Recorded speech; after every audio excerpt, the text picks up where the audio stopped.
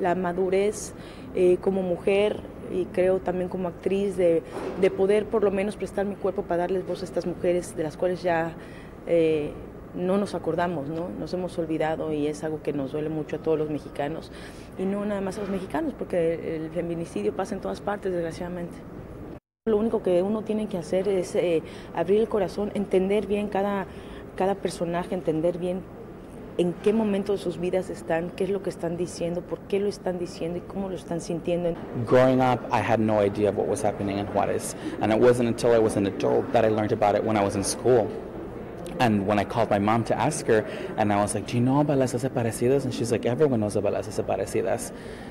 And I was shocked and horrified. And what I learned very quickly, actually, that's not true. All the women knew about las desaparecidas, but the men did not, myself included. Well, well, for many reasons. I mean, just to start with, she's an extraordinary, you know, actress. Uh, also, she has so much experience that she can bring to this, and her history, you know, as an activist.